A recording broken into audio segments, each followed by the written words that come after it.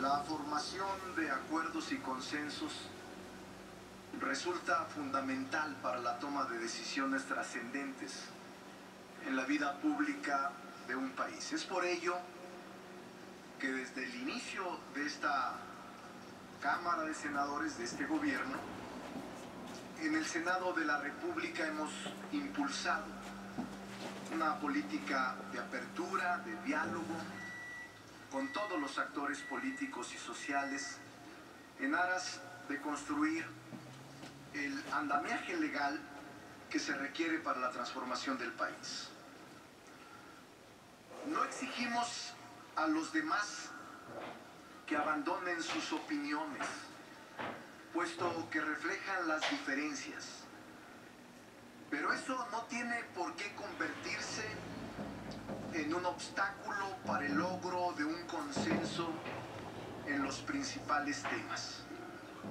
Tenemos que conocernos y respetar las diferentes opiniones partiendo del terreno común, sostenía Zhou Enai. El debate que ha girado en torno a la creación de la Guardia Nacional ha sido intenso. No es para menos. Se trata del problema más grave del país. El flagelo de la inseguridad pública y de la violencia. Lamentablemente, hemos llegado a niveles intolerables de criminalidad. Como ejemplo de ello, han ido aumentando los territorios bajo el control de la delincuencia organizada y se ha ido incrementando en la vida diaria de hombres y mujeres el temor, el miedo en su transitar en cada momento, su día a día. Han perdido la tranquilidad. Las mexicanas y los mexicanos demandamos paz, tranquilidad, seguridad y certeza jurídica.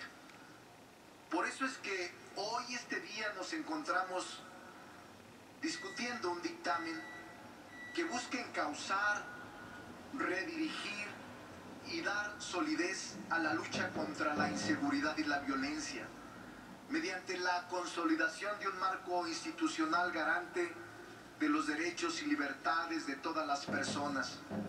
Hoy estamos, vamos a aprobar el proyecto legislativo quizás más importante que refleja la realidad social de un México que exige un cambio contundente.